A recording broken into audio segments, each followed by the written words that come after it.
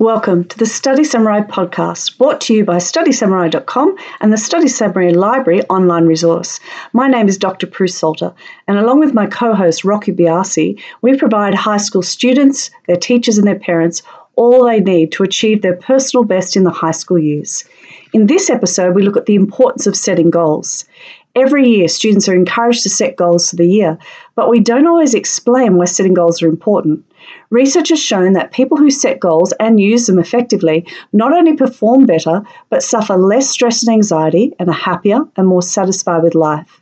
In 1953, a Harvard University study showed that 3% of students graduating that year wrote down their goals.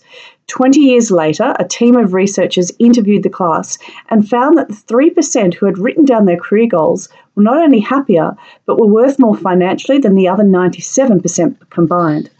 So, here are some more reasons why you might like to set goals for the year. Setting goals helps you to think about possibilities, it gives you a direction to work towards, gives you a clear picture of where you want to go, and goals help yourself just to push yourself that little bit more. They help you have a fun and more fulfilled life. They can give you motivation and focus. And setting goals helps you to do all the things you want to do in life. You've probably set many goals without even realizing it. Not every goal has to be written down, but it certainly helps you to stay on track if you do write it out. You can set goals for all the different aspects of your life. Remember, if you don't set goals, you'll sort of find that life just sort of happens to you rather than you actually deciding what you want out of life than making what you want really happen.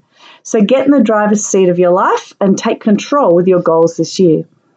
That's all today for this episode of the Study Samurai podcast. Go to studysamurai.com for more episodes and resources, including a free presentation and more information on how your school or your family can subscribe to the online Study Samurai library.